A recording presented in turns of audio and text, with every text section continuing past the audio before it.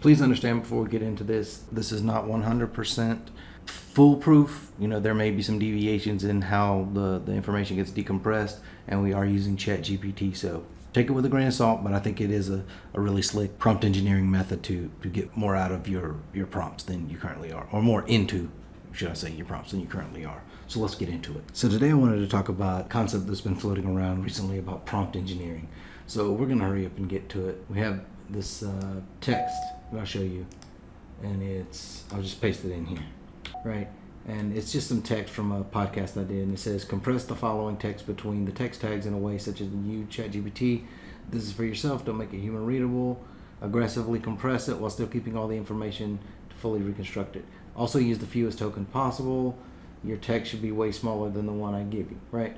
So then I just pasted this text in here from the podcast. This is actually a transcript that I extracted. So let's run it and see what happens, right? So there you have it. This is everything that it compressed. So what we're going to try now is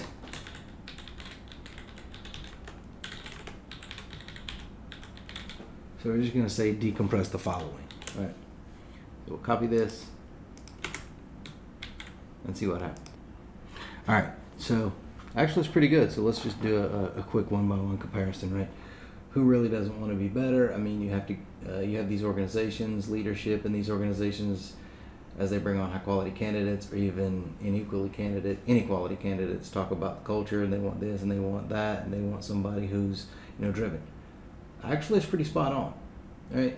Who really doesn't want to be better. These organizations leadership, they bring on high quality or inequality candidates. So that's just one of the you know little tricks that you can start using for these large language models, and that's just a quick intro or a quick little demo for prompt compression to save you tokens and time. Thank you.